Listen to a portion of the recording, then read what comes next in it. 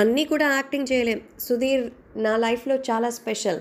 అతను ఒప్పుకుంటే పెళ్ళికి సిద్ధమే అంటోంది రష్మి గౌతమ్. సుధీర్ నా మొగుడే అంటూ పలుసార్లు ఆమె చెప్పింది. సో నిజంగా ఇది కేవలం నటన అని అందరూ అనుకున్నారు. కానీ రియల్ వాళ్ళ కళ్ళలో ఉన్న ఫీలింగ్ అయితే నిజంగా కనిపిస్తుంది. సుధీర్ శ్రీదేవి డ్రామా కంపెనీలోకి సడన్గా అడుగుపెట్టడమే కాదు రష్మి గురించి సుధీర్ చెప్పిన ఫీలింగ్ ఆ సెట్లో రష్మి తన బాధ్యతను తీసుకున్న విధానం. నువ్వు వెళ్ళు నేను చూసుకుంటానంటూ రష్మి నన్ను ప్రోత్సహించి పంపించింది.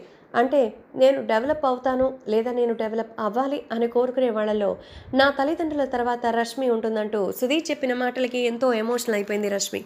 సో నిజంగా తన అన్న మాటకి నా కళ్ళు చెమ్మగిలాయి అవును ప్రతిదీ యాక్ట్ చేయలేం. సో యాక్ట్ చేయడం అంటే ఇద్దరు కలిసి డాన్స్ చేయడమో డ్యూయట్ చేయడమో అనుకోవచ్చు కానీ ప్రతి మాట కూడా యాక్టింగ్ అంటే కాదు. ఎమోషన్స్ని అసలు ఎవరు కూడా కంట్రోల్ కంట్రోల్ చేయలేరు అంటూ చెప్తుంది రష్మి గౌతమ్. సో సుధీర్తో లైఫ్ లాంగ్ ఇలాగే ట్రావెల్ చేయాలని నేను కూడా ఎన్నో ఎక్స్పెక్టేషన్స్ పెట్టుకుని ఉన్నాను. కాకపోతే సుధీర్కి సమ్ గోల్స్ ఉన్నాయి. ఆ గోల్స్ని ఫుల్ఫిల్ చేసుకోవాల్సిన రెస్పాన్సిబిలిటీ ఉంది. నేను సుధీర్కి అంత స్పేస్ ఇస్తాను కాబట్టి సుధీర్ కూడా రిటర్న్లో నన్ను అంతగానే ఇష్టపడతారంటూ చెప్తోంది రష్మి గౌతమ్.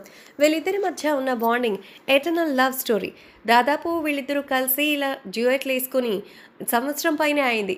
సో ఎప్పుడైతే వినాయక చవితి ఈవెంట్లో రష్మి రిటర్న్ లవ్ ఇచ్చిందో అక్కడికి చెల్లుకైపోయింది కాకపోతే మళ్ళీ వాళ్ళిద్దరి లవ్ స్టోరీని ఇప్పుడు టీఆర్పీ కోసమైనా మళ్ళీ చూపెడతారు.